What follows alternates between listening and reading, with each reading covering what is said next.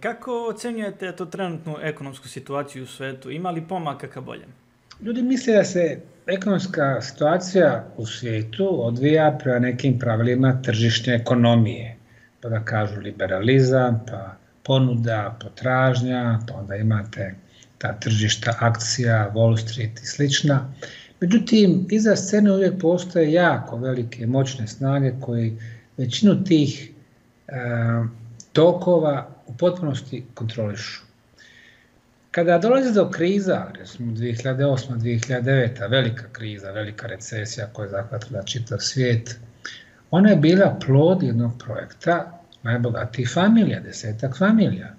Znate, svake godine se u Švajcarskoj sastaje e, šefovi 12 najvećih svjetskih banaka, to su dakle Chase, mislim, tu su Rockefelleri, tu su Morganovi, tu su Rothschild i tako, dakle, preko tih svojih banaka i kad tu dođe predstavnik, recimo, Evropske centralne banke iz Frankfurta, dakle, nije to država, niti Evropska unija. To su najveći dioničari, u ovom slučaju Rothschild Frankfurt, Rothschild Paris, Rothschild London, Rothschild Napolj i tako dalje.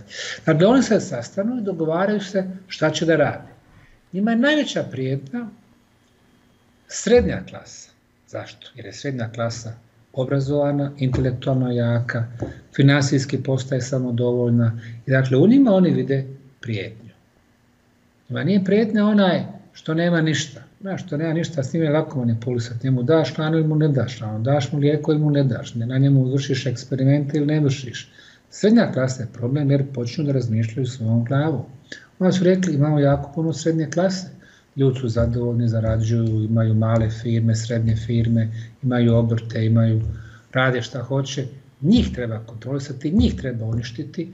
Jedna su pokrenuli taj projekat 2008-2009, svjetsku recesiju, na taj način što banke više nisu davale kredite.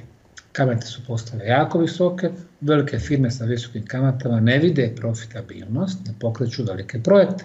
Bez velikih projekata ne daju poslove srednjim firmama. I onda i velike i srednje firme počnu da otpuštaju radnike. Ko je prvi na meti? Na meti su prvo menadžeri koji su najbolje plaćeni. Dakle, oni koji tvore višu srednju klasu i nekoliko nivoa ispod.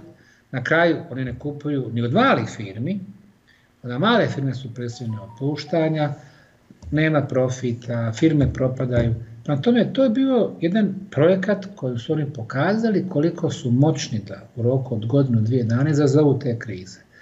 Naravno, velika je pomoć bila e, iz medija, pošto oni kontrolišu i medije, kao što su CNN, ABC, CBS, MSNBC i ostali. Jednostavno su medijima rekli u julu 2008. da će treći i četvrti kvartal Ameriku i Zapadnu Evropu zadesiti recesija. Pošto se jako dobro sjećam tih vremena, u Americi sam imao svoju firmu, izbilja 5-6 godina prije toga bio period uzlaznosti, buma ekonomije, prosto je bilo nezamislivo da će ta dobra vremena završiti. Izbilja u devetom mjesecu, dva mjeseca kasnije, CNN objavljuje treći kvartal u Americi pad bruto društvenog proizvoda.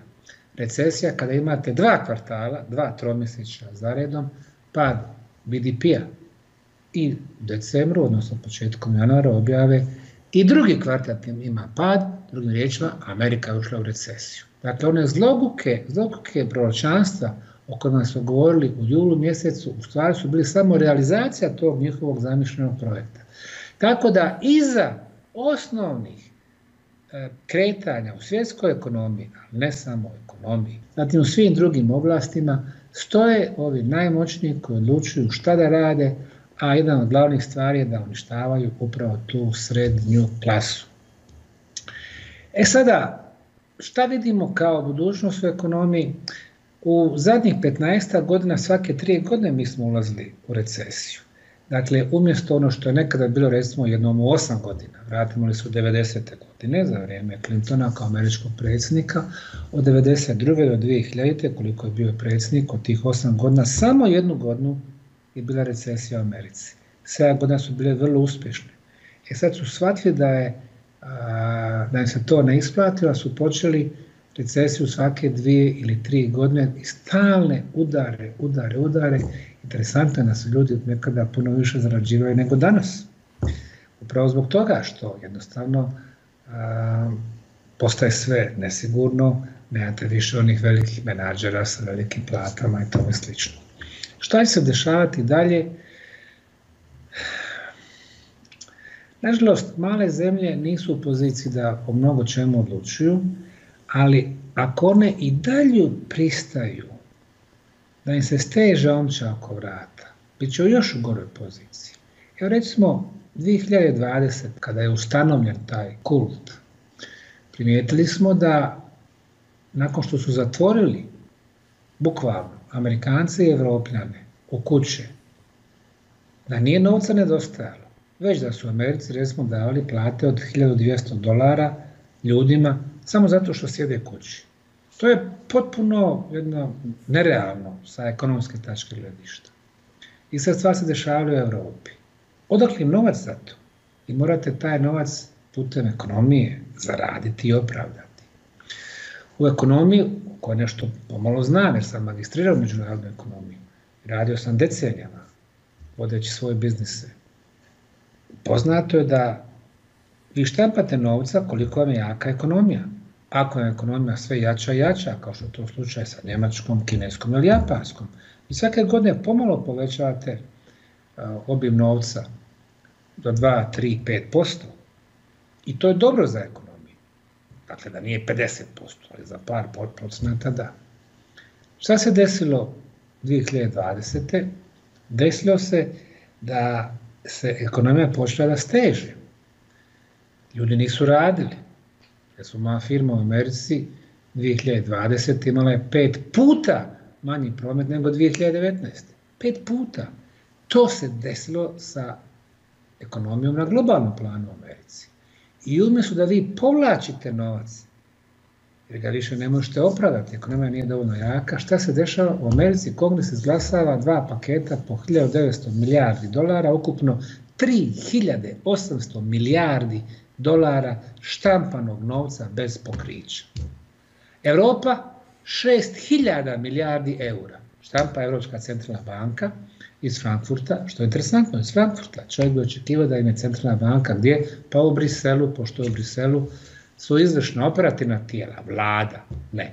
Nije ni u Strasburu, je parlament, već u Frankfurtu. Zašto? Zato što tamo se u svoje sjedište imaju Rothschild Frankfurt, koji su najveći dioničar Njemačke banke i novca iz Njemačke, koji su najveći dioničari kao pojedinačni u Evropskoj centru. Oni štampaju 6 milijardi i onda s tim parama guraju ih u ekonomiju, da ne bi propali, posuđuju ih drugim okolnim zemljama koji imaju aspiraciju da uđu u EU, kao što su naše male zemljice, Bosna ili Srbija ili Moldavija ili Makedonija ili Albanija ili da ne nabram dalje, ne dozvoljavajući nama da mi štampamo svoju valutu, jer oni su se samo proglasili, samo oni imaju pravo da štampaju euro, ne možemo mi da štampamo dinar, marku ili kunu i tako dalje. Ne, ne. Dakle, to samo pokazuje taj neokolonijalni odnos, a oni onda sa tim viškom novca šta rade, nama posuđuju kao kredite, neka daju malo grantova da nas odobrovolje, pa je nama onda jako drago, nas smo sretni što nam daju bezvrijedni novac, čak nam više ne daju ne novčanice, nego samo kažu, e sad ćemo mi prebaciti iz Frankfurta 500 miliona, 500, 500.000.000, pa se na našoj banci, centralnoj u Srbiji ili u Sarajevu, pojavi ta iznos, pa mi mislimo da smo dobili neku pravu vrijednost. Je takva jedna igranka. I da to naši ljudi ne primjećuju. Dakle, oni nam ne daju ništa. Oni nam daju nekoliko cifri, brojeva. A onda mi, misleći da imamo neku pravu vrijednost, počinjemo da dajemo kredite Kroz koje banke? Pa kroz neku Intezu i Raiffeisen i Sperbanku, dakle opet zapadne banke, koje daju te komercijalne banke, daju kredite, daju tebi da kupiš stan, da onda kupi kuću, onaj kupi plastenik, onaj napravi fabriku, ona napravi ono. Obično 20 do 30% kredita se ne vraća. To je u svakoj ekonomiji. Ne, ljudi su propali, neko je umro, neko se razveo, neko... I onda ta ista Inteza dobija 20% kuća koje smo mi napravili u Srbiji Čime? Svojim radom, svojim materijalem, svojim znanjem, on nam dali nekoliko nula i dobili 20% tih kuća. To je ta igranka koju provode nad nama decenijama. I to naši ljudi ne primjećuju, naši ekonomski analitičari, stručnjaci, ministri financija, ekonomija i tako dalje. Prema tome, kakva je budućnost kad ti dobrovoljno pristaješ da oni dalje steže omću oko tvog vrata i onda kad ne možeš da vraćaš te milijarde kredita, zadužuješ se za nove milijarde da bi otplatio kamate i zatezne kamate i dio glavnice i onda nove milijarde i onda u tom krugu vi ne možete da isplivate. To je taj e, dužnički put u kome smo se mi našli.